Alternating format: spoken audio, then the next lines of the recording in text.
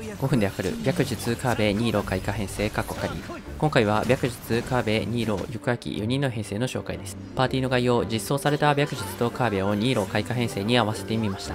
行く秋とニーロで定期水付着。白術もパーティーの裏から定期的草付着。カーベはオンフィールドアタッカーとして表で草付着。草原角を生成していきます。ニーロの開花強化だけでなく白術カーベも開花強化を有していますが開花火力が大幅に飛躍したかというとそこまでではありません。ただし開花の事象で回復できるカーベやシールドヒーラーとして活躍できる白術など開花パーティーの防御面がかなり向上したと思います。今期の螺旋のような火力が高い環境でも十分使えるようになりました。白術は金箔森林4 HP 森ビルド。カーベはレガリア金目楽園熟知森ビルド。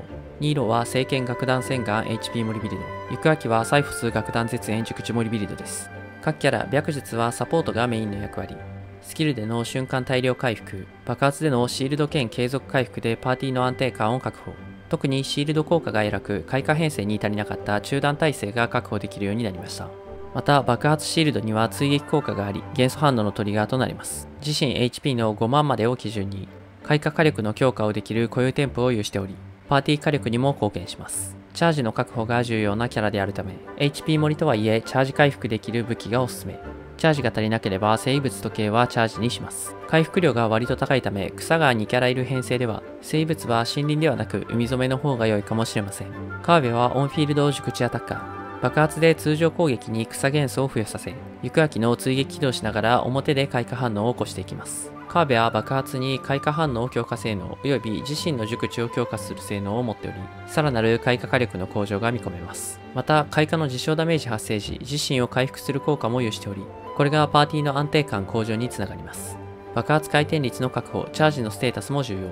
自身で熟知強化できるため、基本チャージ時計もしくはチャージ武器で良いと思います。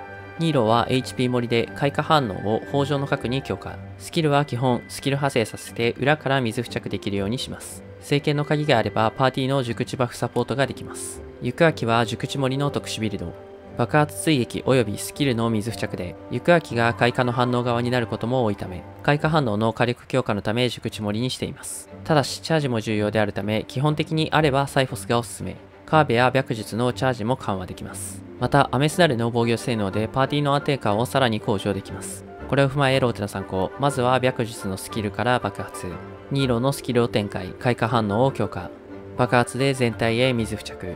カーベのスキルで粒子を回収。行く秋の爆発からスキル通常。白術でスキル通常、粒子回収。あとはカーベに切り替え爆発からスキル通常。スキルをもう一度使用するぐらいまで攻撃します。チャージ効率を緩和するためのローテを組んでいますので、あくまで現状の参考としてお取り扱いください。最後にこの編成で今期の螺旋12層を攻略します。よければチャンネル登録、高評価もよろしくお願いします。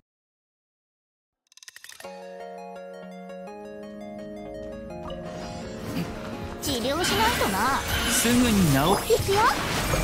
は？波の花がに舞よ。障害物クリ動くべき股間奥義。この剣はわかるかい？ようやくは口に見え着工だ。さあ来い。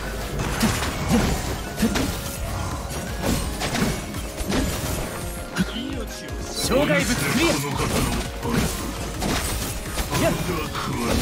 薬も毒になり得ます。命の重みを知りなさい。頑張るよ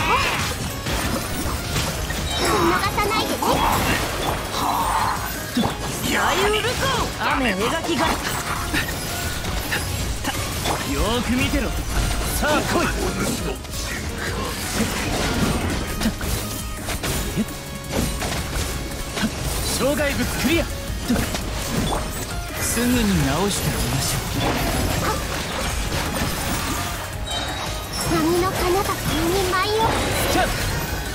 股間奥義ようやくは口に。着工だ。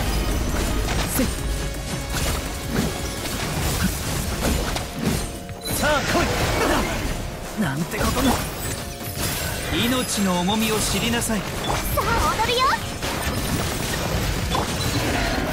歌よ錦となれ。この剣はわかるかい？治療しないとな。スキャン脚光を浴びるとしよう。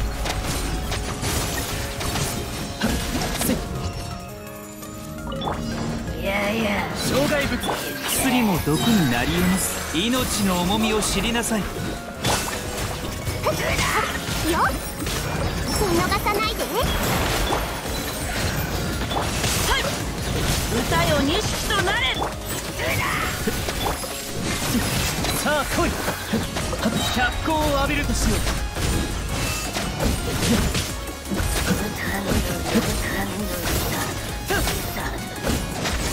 せっとやあなたの獲物だ。高よ。キャン写真を起こせ。さあ婦人官さあ踊るよ。頑張るよ。逃げられると思うさあ踊るよ。あ障害物クリア。股間奥義。この剣はわかるかい？キャンよーく見てろ。ひどいじゃん。せいとはっ。障害物クリア障害物クリ治療しないとな。さあくよっさあ踊るよ。キャン股間奥義。薬も毒になり得ます。見逃さないで着工だ。障害物クリア。せさあ来い治療しないとな。命の重みを。頑張るよ。あキャンサイウルコこの剣はわかるかい？波の花が君に舞いよ。ようやくは口によーく見てろ。